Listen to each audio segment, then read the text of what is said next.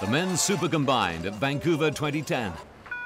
And one of the early starters on the downhill run, Aksel Lund Svindal, the reigning World Cup winner and world champion. The Norwegian was one of the most complete skiers on the circuit. And Svindal throwing in all his experience, chasing the time of the downhill gold medalist Didier Defago.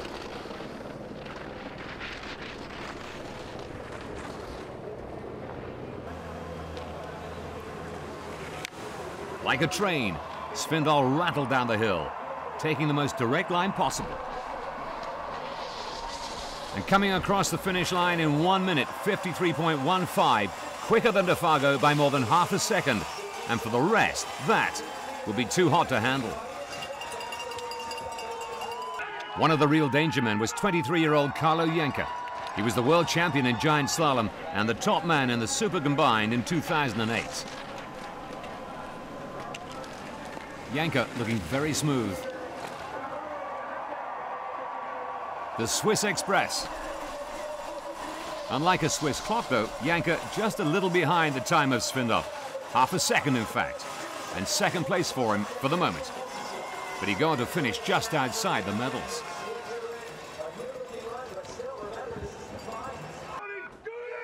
Next to make a charge, Bode Miller, He'd already won a silver and a bronze at the Games. Could he now complete the set with a super combined gold?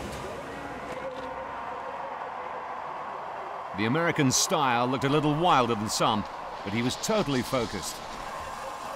And Miller coming home three quarters of a second behind Svindal, sixth quickest so far.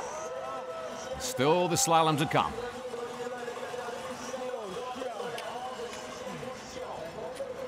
One of the most impressive runs was to come from this young man, Dominik Paris.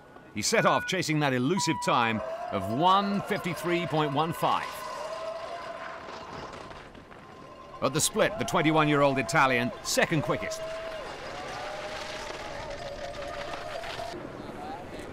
And he was even quicker on the bottom section, coping with the terrain better than anyone on a track which constantly demanded a change of rhythm.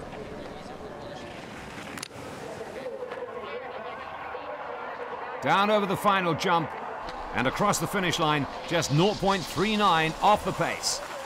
Second position for Dominik Paris. Sadly, in the slalom to come, he'd be three seconds off the pace.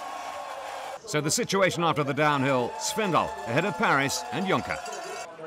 But the beauty of the combined is the total contrast from the speed of the downhill to the slower sway of the slalom.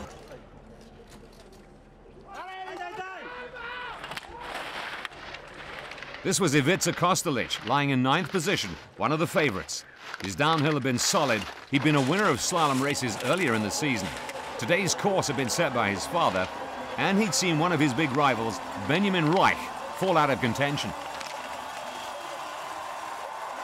And now the Croatian produced the run he was looking for, quickest by more than half a second, and he was absolutely thrilled.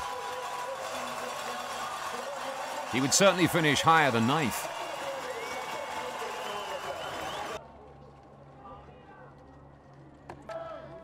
Bode Miller, seventh after the downhill, three tenths of a second faster than Kostelic. 32 years of age now, but producing his best skiing for some years. He said the slalom was always nerve-wracking for him, a battle between the head and the heart, between tactics and emotions. And here, he let the emotions rule, sweeping down the course. Miller even faster than Kostelic over the slalom course, and the American taking the lead by a third of a second. Silvan Zurbriggen had just 0.03 of a second in hand over Miller. This was the man that many of the skiers considered to be the favourite. He'd scored well in the downhill, and his slalom skiing was out of the top draw. But he'd lost vital tenths of a second on the top section and had to fight hard to win the time back. In the end, it wasn't enough. Zurbriggen, the big Swiss hope, third fastest behind Miller and Kostelic. And Ted Ligety, the Olympic combined champion in Turin, now pushed off the podium. So, the last to go, the 27-year-old Norwegian, Aksel Lund Svindal. He'd already got gold in the Super G and silver in the downhill, and he had a massive lead over Miller. But, disaster. Svindal clipped a gate, maybe because he pushed too hard, and the Norwegian's dream of a second gold was snuffed out in an instant.